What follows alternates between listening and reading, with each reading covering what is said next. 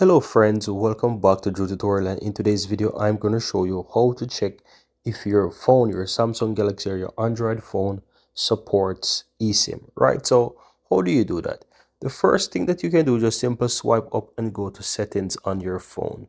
Now once you're inside settings guys, at the top there you will find connection. So you want to tap on connections and then once you tap on connection you want to click on SIM manager here now within SIM Manager, you will see a section called eSIM. If you see eSIM here, it simply means that your phone supports eSIM and you can easily go ahead and tap on the plus there. That will take you into the option where you can add an eSIM or you can search for eSIM, right? So I'm going to just allow it a moment. Now, once you tap on that, you will see choose how to add your eSIM. You can transfer from another device. You can scan QR code or you can search for an eSIM.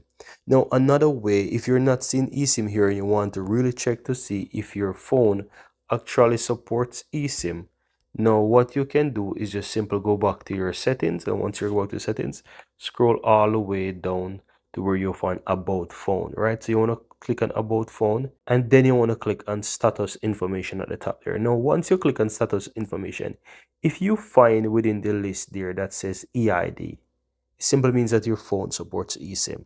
And that's all there is to it.